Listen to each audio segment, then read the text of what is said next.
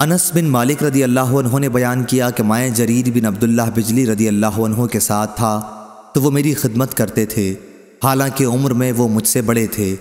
Jarir रदी अल्लाह ने बयान किया कि मैंने हर वक्त अंसार को ऐसा काम करते देखा रसूल अल्लाह सल्लल्लाहु अलैहि वसल्लम की खिदमत, कि जब उनमें से कोई मुझे मिलता है तो मैं उसकी ताज़ीम व इकराम करता हूँ।